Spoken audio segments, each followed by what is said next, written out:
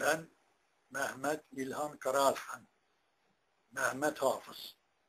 1934 doğumluyum. Ee, annemin adı an- annemin adı Bakiye, babamın adı Mehmet. 1934'ten 1945 yıllarına kadar ilkokulda okudum. 45 e, 50'ye yakın mezun olduk. 1950'de hafızlık 2 3 yıl ayakkabıcılık yaptım. Ağabeyim Ali Karaslan'la birlikte. Bundan sonra Kur'an kursu açıldı. Kur'an kursunda e, Mehmet Ali Armutçoğlu hocamızdan hafız olduk. İlhan Armutçoğlu ile birlikte. E, hocamız 1950 50'de hafız olduk.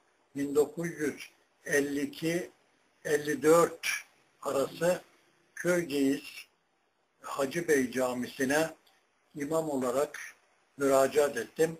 İmamlığı kazandım. Orada iki sene imamlık yaptım. İmamlık yaptıktan sonra e, 1954'te asker oldum. 1957'de terhis oldum. 1959 yılında evlendim.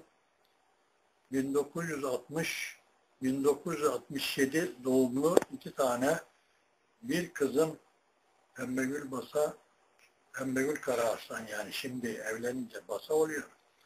Bir tane de oğlum Gülkifil Karaaslan. O da tuhafiyeci. Ondan sonra 1957'de yeni cami e, münhal bulunduğundan yeni camiye müezzin olarak atandım. 1978'de emekli oldum.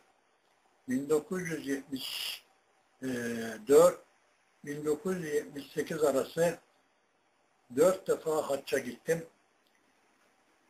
Haçtan dönüşümde 1978'de emekli oldum. Ee, emekli olduktan sonra hala daha e, dini görevini yapmaktayım. Maddi manevi Ula'nın tüm fakir ve zengin olma gözetme, gözetmemek şartıyla mevlidini, cenazesini ve bütün e, dini işlerini yapmaktayım. Saatim gayet iyidir.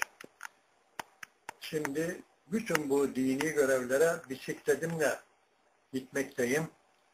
İnşallah daha saatim el verdiği müddetçe Ula'ya daha dini vecibeler yapmak için hizmet yapmaya devam edeceğim. Öyle.